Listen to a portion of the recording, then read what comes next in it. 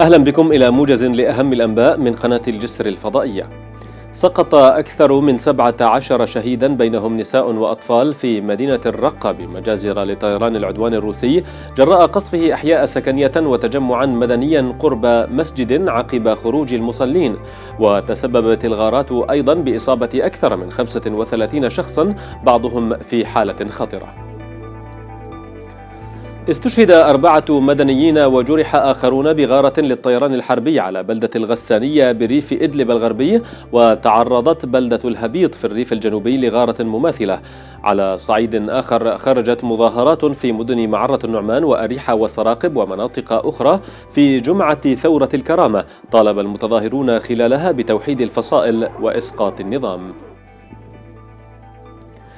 في حلب استشهد ثلاثة مدنيين في بلدة بزاعة بريف حلب الشرقي بغارات لطيران النظام الحربي كما سقط شهيدان في قرية النجار بالريف الجنوبي جراء إلقاء الطيران المروحي براميل متفجرة على المنطقة فيما طال قصف مماثل بالبراميل المتفجرة بلدة بيانون وقرية زيارة. شن طيران العدوان الروسي عشرات الغارات على مدينة تدمر بريف حمص الشرقي ما أدى إلى سقوط شهداء وجرحى مدنيين كما قصفت قوات النظام بالمدفعية والصواريخ أحياء المدينة في حين سيطر تنظيم الدولة على على جبل البارد قرب مدينة القريتين بعد هجوم على مواقع قوات النظام في المنطقة.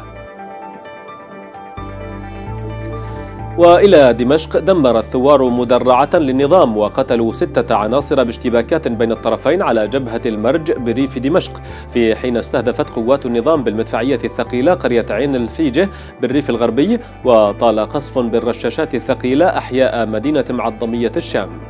هذا وخرجت مظاهرة في مدينة دوما طالبت بإسقاط النظام والإفراج عن المعتقلين. في خبرنا الأخير شن الطيران الحربي غارات على الأحياء المحررة في مدينة دير الزور وطالت غارات مماثلة محيط المطار العسكري وبلدة المريعية في الريف الشرقي. من ناحية ثانية قامت قوات النظام بحملة اعتقالات بحق الشبان في حيي الجورة والقصور بهدف تجنيدهم في صفوفها والزج بهم في المعارك ضد تنظيم الدولة. نهاية الموجز إلى اللقاء.